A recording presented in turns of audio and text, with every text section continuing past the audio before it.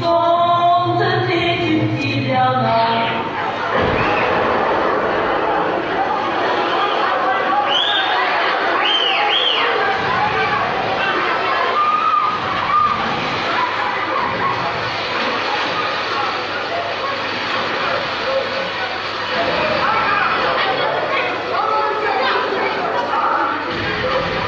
В России говорили, что Советский Союз распался из бежать югославского варианта.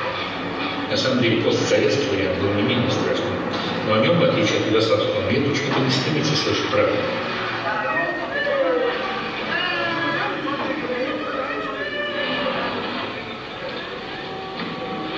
This is not acceptable. This is terror bombing. Это была страшная война. В 1972 году была Ивановский За Сухуми. И стояли первый раз. А стояли и прогнали их. А потом, когда прибавились казаки, прибавились, сказать, российские солдаты, добровольцы и так далее, потом уже нельзя было держаться. По-моему, был и флот, были Тоже, тоже. И авиация была. Авиация, естественно, российская. Почему Россия так заинтересована Абхазией? Вся беда в том, что при Хрущеве Крымский полуостров, основные партии Хрущева подарили Украине. Отсюда и особый интерес Абхазии. Хрущев говорит Зине, мы вас натравили, на вас натравили Абхазов. В 1972 году то на Ельцина, я вошел в СНГ, когда будем вместе, вынудим Ельцина решить вопрос Абхазии. Было соглашение.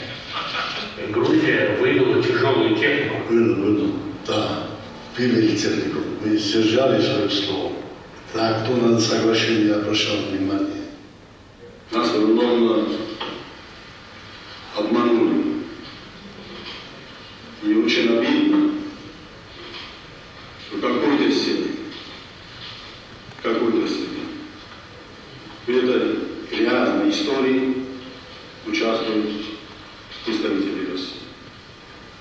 Я очень глубоко сожалею, потому что я беспредельно верю тем документам, которые были подписаны в Москве, тем словам, которые были сказаны президентом России, и тем заявлениям, которые были сделаны представителями правительства России здесь, в Гуме, в Сочи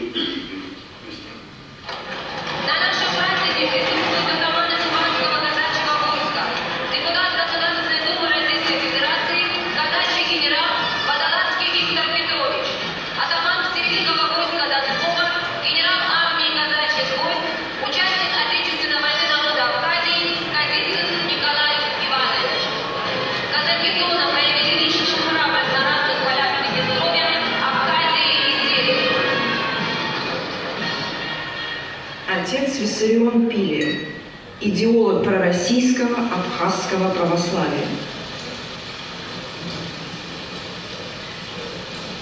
Советский Союз разломали, заменили Европейский Союз. Для чего? Для того, чтобы уничтожить Россию, православие. Ну, Господь не, не, не даст им этого сделать, потому что Господь посылает э, там, где нужно, именно тех воинов, чтобы защитить людей. Посылает воинов, чтобы защитить людей.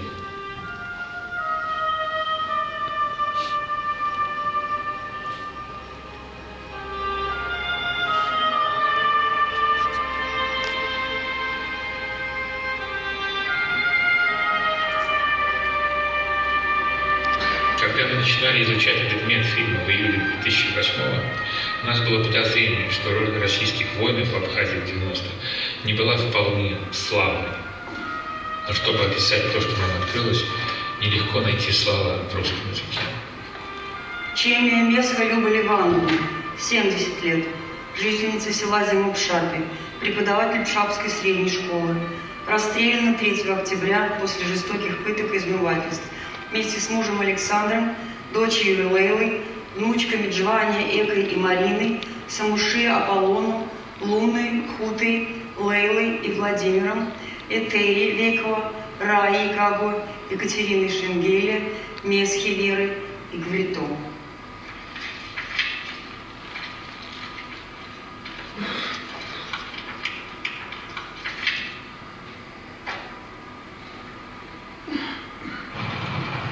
Мы поставили своей задачей побывать на местах преступления. Кадры, снятые в Абхазии по точным адресам, иногда скрытые камерой, документируют рассказы свидетелей. Александр Нестерович, 70 лет. Убит зверски в своем доме 3 апреля 95 года. Лилия Шаловна, 60 лет. Жительница села Верхний Пшапин. Расстреляна и сожжена вместе с мужем Шатаку 25 октября 93 года. Сожжена живьем в своем доме вместе с сыном Джавадава Гамлетом 6 марта. Лейла я 15 лет я не разговаривала по-русски. 15 лет назад я жила в Абхазии, э, такая деревня, се- Ахалдаба называется, Ачамчирский район, где я преподавала грузинский язык и литературу. 16 э, сентября 93 года напали на нас, абхазцы. Невозможно было нигде укрыться, ничего. А Как э, дождь, вот так э, шли пуля.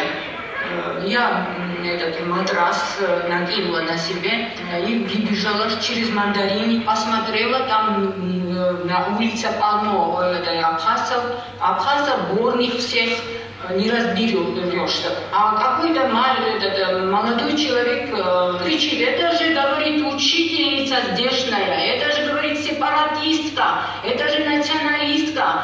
Своих детей учила, что это, говорит, не Абхазия, а Грузия. Давайте сейчас покажем, где Абхазия, где Грузия, где для них только осталось горы и Тбилиси, больше для, для Грузии ничего не осталось.